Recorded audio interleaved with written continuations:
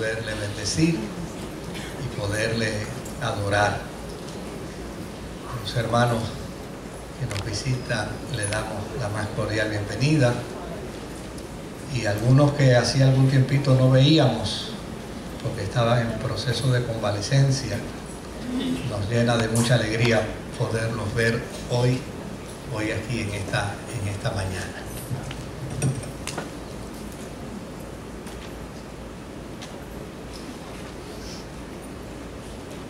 El día 6 de septiembre predicamos un sermón sobre el tema que hoy vamos a considerar nuevamente.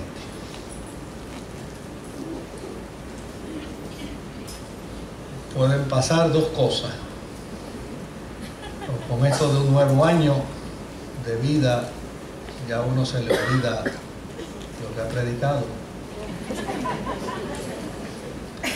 O en su defecto, que es lo que yo entiendo, hay temas que nunca se agotan y hay propósitos e intenciones de Dios que a veces uno desconoce. Anoche precisamente yo le estaba hablando a mi esposa sobre, sobre esta situación y, ella me decía, ¿y ahora qué vas a hacer? Bueno, eh, Trabajar con una reflexión toma cerca de unas 6, 7 horas. Por lo menos a mí me toma ese tiempo. Y ese fue el tiempo más o menos que me tomó esta semana trabajar con la reflexión de hoy. Y ella me dice, ¿y ahora qué vas a hacer? Le dije, bueno, yo trabajé con ella, yo hice el esfuerzo, no te preocupes, que Dios siempre sale bien. Si acaso salgo yo como un tonto, que soy yo, Dios no. Me dice, pero lo vas a predicar, le digo, algo Dios querrá decirnos con el tema de, hoy. Y obviamente no es el mismo de la otra vez. Pero yo quiero que usted vaya conmigo a Eclesiastés, capítulo 7, y verso, y verso 14.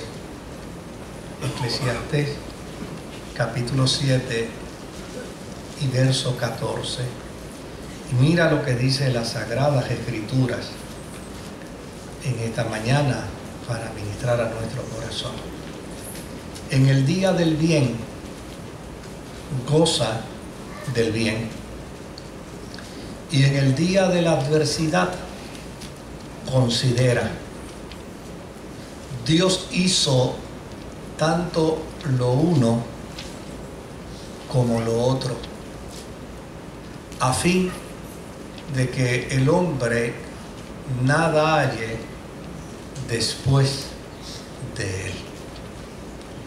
En el día del bien, goza del bien. Y en el día de la adversidad, permítame cambiar la expresión o sustituir la expresión de considera. Y en el día de la adversidad reflexiona. Que el Señor añada bendición a su santa y bendita palabra.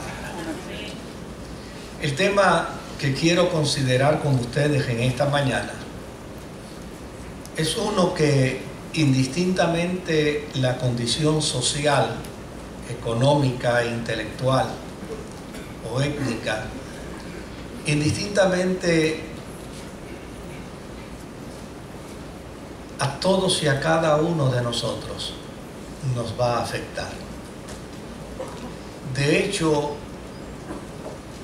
es una experiencia que llega a visitar a los espirituales y uso el término espirituales no en sentido de burla, sino por el contrario, reconociendo que hay hombres y mujeres que trabajan en dirección hacia la espiritualidad y buscan al Señor. Pero obviamente nadie se zafa dentro de la espiritualidad de la experiencia que vamos a hablar hoy. Por lo tanto, llega a la vida de los espirituales, de la gente temerosa de Dios, y también adviene a las personas que están lejos de la gracia divina.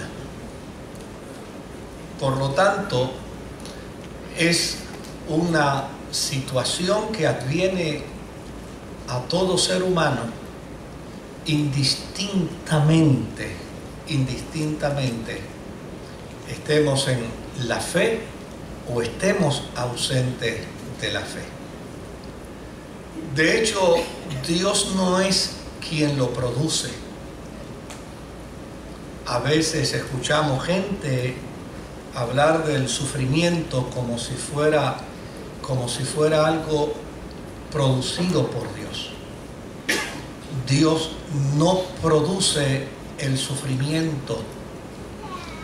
Más bien, el sufrimiento tiene en nosotros un propósito y es un propósito que en cierta medida lo podemos ver como parte de Dios. A pesar de que el sufrimiento Dios no es quien lo provoca. El sufrimiento nos hace más sensibles. Y desde luego quien lo ha experimentado puede aprender mediante el sufrimiento el don de la solidaridad humana. Cuando sufrimos, entendemos mejor a los otros que sufren. Generalmente quien no ha pasado por un momento de dolor, quien no ha pasado por un momento de pérdida, quien no ha vivido la experiencia de una noticia de esas que, que son en la escala Richter a, 9 grados, ¿verdad? Que le hace temblar a uno los cimientos del alma. Quien no ha vivido ese tipo de experiencia no sabe lo que es solidarizarse con aquellos que sufren. Los que viven la experiencia del sufrimiento adquieren de parte de Dios ese don de la solidaridad. Y habría que ser bien insensible y casi ser inhumano si dentro del proceso del sufrimiento no aprendemos la experiencia de la solidaridad. De hecho, en las sagradas escrituras hay mucha gente que se quejó como resultado del sufrimiento. Y a mí me gustaría mencionarle algunos personajes bíblicos. Por ejemplo, en Lamentaciones capítulo 1 y versículo 12, dice, no os conmueve a cuantos pasáis el camino, mirad y ved si hay dolor, como mi dolor que me ha venido.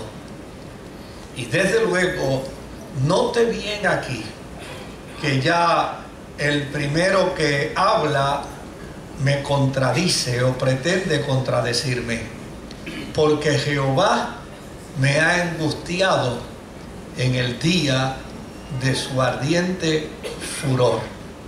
Note bien que yo dije ya que el sufrimiento no lo produce Dios, pero los seres humanos a veces desarrollamos una conceptualización de la vida en la fe donde podemos interpretar como que el dolor adviene porque Dios, porque Dios lo ha traído. Mire Isaías capítulo 53 y versículo 11. En Isaías capítulo 53 y versículo 11 dice, verá el fruto de la aflicción de su alma y quedará satisfecho por sus conocimientos justificará mi siervo justo a muchos y llevará las iniquidades de ellos. Si alguien puede pensar que Dios produce el sufrimiento, entonces tendría que concluir que Dios también se autoproduce sufrimiento, porque el capítulo 53 de Isaías ha sido interpretado por toda la cristiandad como un capítulo mesiánico que tiene que ver directamente con la persona del Mesías. Y llana y sencillamente el Mesías está planteado aquí proféticamente como alguien que también habrá de sufrir. Lo que quiere decir, lo que quiere decir es que nada más que traspasar el umbral de este planeta garantiza, garantiza por ende que el sufrimiento será parte de nuestra experiencia de vida. El salmista en el Salmo 88 y verso 15 nos dice, yo estoy afligido y menesteroso. Desde la juventud he llevado tus errores, he estado medroso. Es decir, aquí hay un hombre admitiendo que la experiencia del sufrimiento ha sido una experiencia que le ha acompañado desde los inicios de sus días. Es alguien que probablemente esté admitiendo que todo lo que ha visto en su vida es sufrimiento. El Salmo 44 y verso 24 nos dice, ¿por qué escondes tu rostro y te olvidas de nuestra aflicción? y de la opresión nuestra. Es la oración del salmista que en medio de su desesperanza y siendo el portavoz, portavoz del pueblo en la experiencia de la esclavitud, le dice al Señor, ¿cómo es posible que te hayas olvidado de nosotros en medio de nuestro sufrimiento, y en medio de nuestro dolor, porque una de las sensaciones que se vive cuando sufrimos es que Dios nos ha abandonado. Una de las sensaciones que se vive cuando sufrimos, mire qué dato interesante, podemos tener la información acá, aquí la podemos tener, pero cuando el sufrimiento llega, la información acá arriba como que no se reconcilia con la realidad de nuestros problemas. Y muchas veces, muchas veces, en medio de la experiencia del sufrimiento, en medio de la experiencia del dolor que produce el sufrimiento, inmediatamente pensamos que Dios tiene que ver algo directa o indirectamente con nuestra experiencia de dolor. Job en el capítulo 30 y en el verso 27 nos dice, mis entrañas se agitan y no reposan, días de aflicción me han sobrecogido. Por lo tanto, el sufrimiento adviene como resultado de nuestra humanidad. Y por más que querramos evadirlo, por más que querramos de alguna manera escondernos de él, el sufrimiento siempre se hará patente en nuestras vidas. Quien no ha sufrido tenga por seguro que si va a vivir mucho, sufrirá.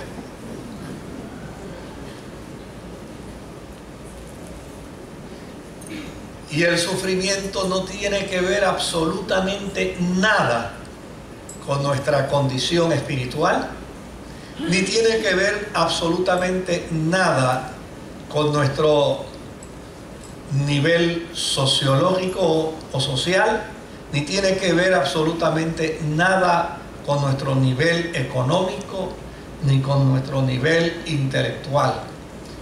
Llega un día a la vida donde una noticia nos estremece, nos sacude y llana y sencillamente nos hace sufrir. Y mire que han pretendido mucha gente trabajar en el marco teológico con alternativas para ver cómo se puede dejar de sufrir. Y llana y sencillamente no hay, no hay alternativa. De hecho, yo me he topado con gente que cuando les he hablado sobre este mismo tema, casi se han reído porque piensan que su nivel de espiritualidad es tan alto, es tan fuerte y su autoridad en Dios es tan grande que nunca sufrirán. Y llana y sencillamente en el momento yo no puedo hacer nada, porque ellos están en un nivel obviamente de una cobertura circunstancial donde en ese momento no están sufriendo. Pero el tiempo demuestra que por más andamiaje religioso que el ser humano se quiera poner, el sufrimiento siempre le va a tocar. Y la pregunta sería ¿por qué? Bueno, Jesús Jesús no invitó a nadie a que creyera en él para evitar el sufrimiento. Jesús no llamó a nadie a que le siguiera para evitar el dolor. Jesús no invitó a nadie a seguirle para que de esta manera evitara las circunstancias adversas de la vida. Créame, yo a veces me quedo sorprendido con los ofrecimientos religiosos que la gente hace donde llana y sencillamente están ofreciendo algo que si lo lleváramos a DACO, oiga, demandábamos y ganábamos la demanda. Porque son anuncios engañosos, son cuentos de camino. ¿Cómo podemos contradecir a Jesús? ¿Quién puede atreverse a contradecir la autoridad de Jesús, el verbo encarnado de Dios? ¿En nombre de qué fe podemos contradecirlo? ¿En nombre de qué fe podemos decir que Él estaba equivocado? ¿En nombre de qué argumentación teológica podemos decir que cuando Él dijo lo que dijo, quiso decir otra cosa? ¿Y qué fue lo que dijo Jesús? Jesús dijo, en el mundo tendréis aflicción. Y yo no sé cómo todavía al día de hoy hay gente incauta dentro del marco religioso que pretende invitar a la gente a no sufrir.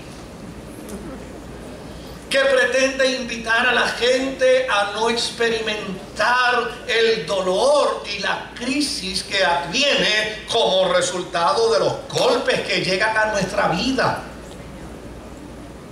¿Qué es sufrir? Sufrir es padecer dolor desde la perspectiva física, como emocional. Y este no es eliminado permanentemente por ningún antídoto. No existe antídoto que pueda eliminar el sufrimiento como experiencia en el ser humano. De hecho, uno de, los elementos eh, más extraordinarios que el hombre puede experimentar y puede vivir y una de las experiencias más profundas que el hombre puede tener, y permítame decirlo de esta manera, una de las experiencias de acercamiento a Dios más grande que un ser humano puede tener, no lo evita de sufrir, todo lo contrario, todo lo contrario, lo trae a mayor sufrimiento. ¿Sabe cuál es esa experiencia? El amor.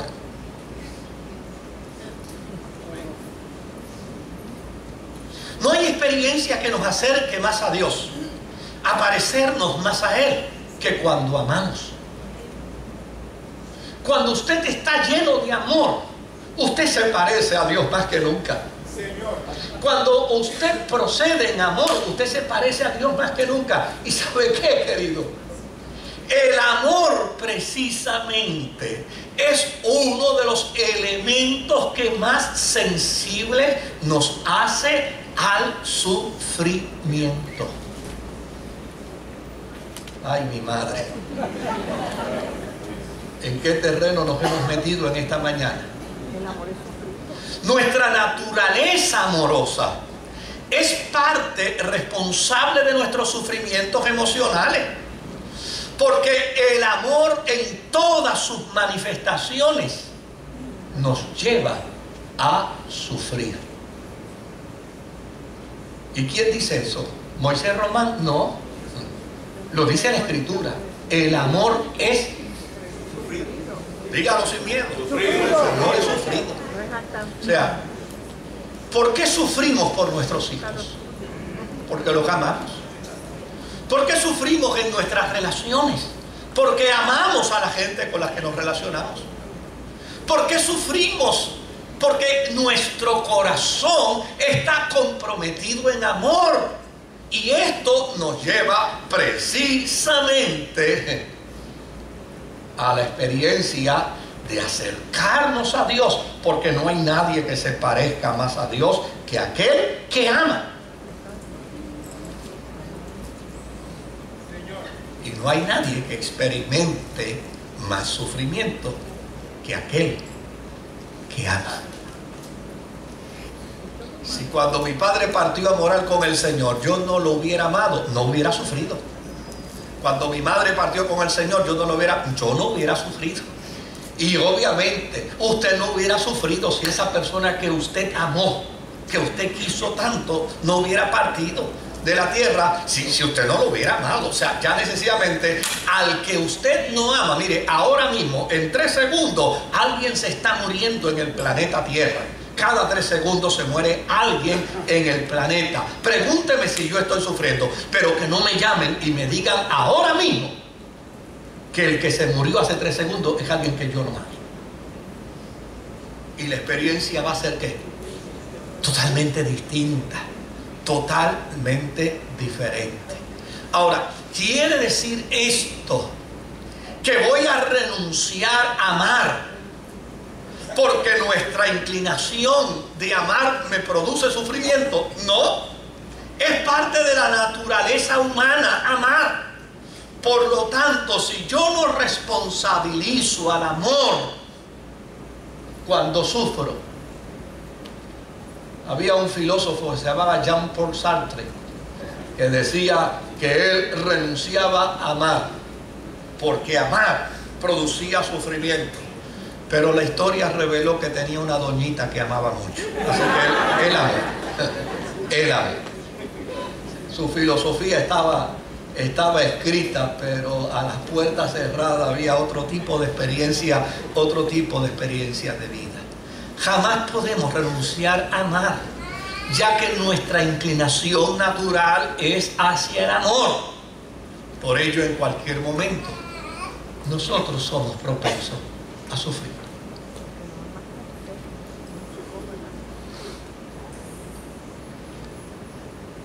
Obviamente, como resultado de nuestra capacidad, como resultado de nuestra inteligencia, procuramos de alguna manera sublimar el sufrimiento, ya sea mediante argumentos filosóficos o ya sea mediante argumentos religiosos.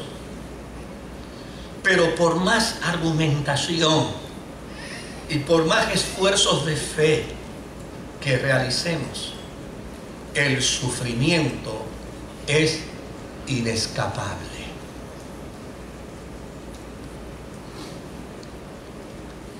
Entonces, ¿qué podemos afirmar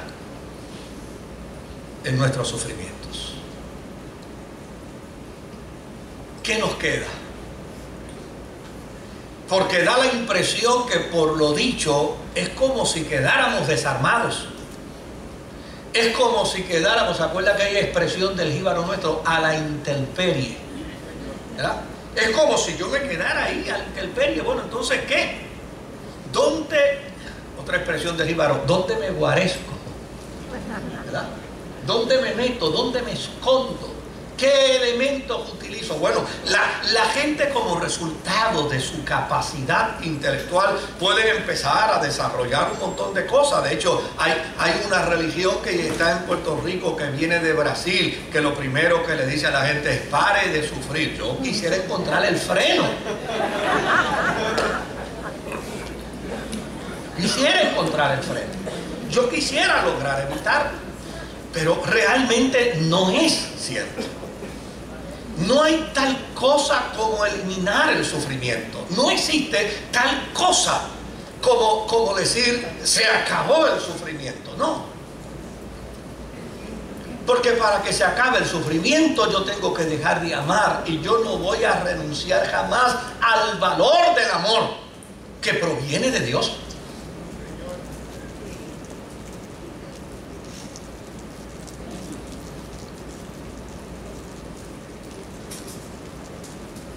¿Qué podemos hacer entonces cuando estamos en el sufrimiento?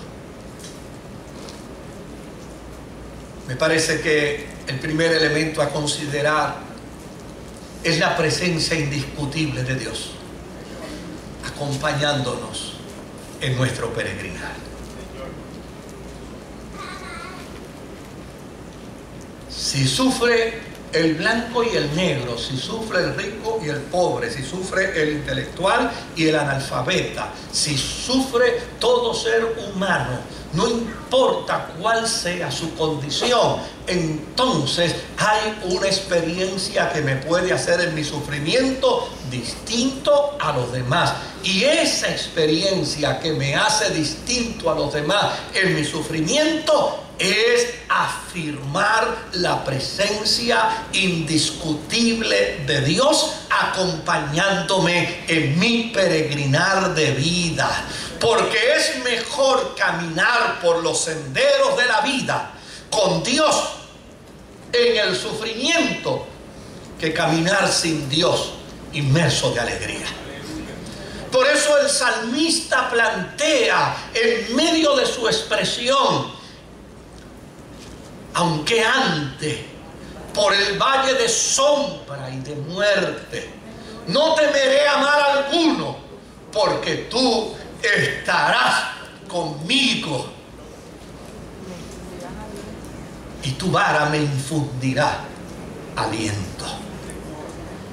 La presencia de Dios en nuestra vida. Y eso obviamente no requiere, no requiere de un examen teórico. Esto de lo que requiere, llana y sencillamente, es de una afirmación de nuestra fe. Esto no requiere de un proceso religioso, digamos, de pasos tras pasos, de pasos tras pasos. No, esto de lo que requiere es simplemente de creerle a Dios. En el compromiso de Dios para acompañarme y en el compromiso de Dios para acompañarlo a usted, note bien que no aparece ni un solo requisito para que usted lo cumpla en la vida.